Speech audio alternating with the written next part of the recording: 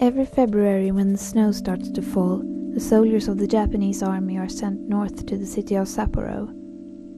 As Japan's pacifist constitution forbids them from marching off to war, their duties are different to those of any other army. While their foreign counterparts busy themselves with preparing for future wars, which may or may never take place, the snow soldiers set about digging and sculpting, creating huge animals, figurines, and palaces carved from the ice and snow. Those in charge describes this as a training exercise, but training for what exactly? Who knows? While the fighting of other armies may well displace those unlucky enough to be caught up in proceedings, the snow soldiers' occupation seemed to have the exact opposite effect.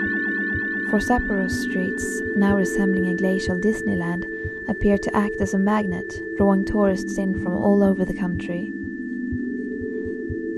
This year, the soldiers' efforts have given form to the customary mix of cartoon characters, sporting heroes, and various company mascots, as well as a somewhat unprompted reproduction of Leipzig City Hall.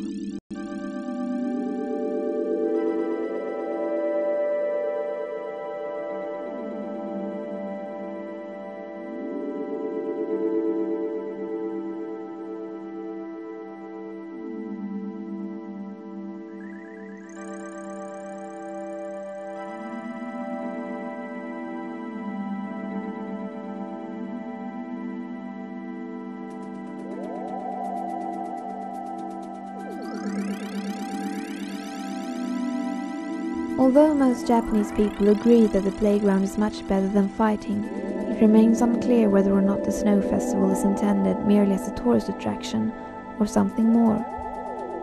Perhaps a grand statement, its purpose being to propose the building of statues from snow and ice as an alternative to war. In either case, the festival is in decline.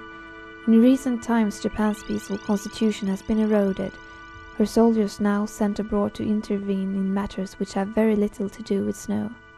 When confronted with their new duties, would the snow soldiers be more concerned at the violent nature of their new work, or the fact that there is no snow in places like Afghanistan or Iraq?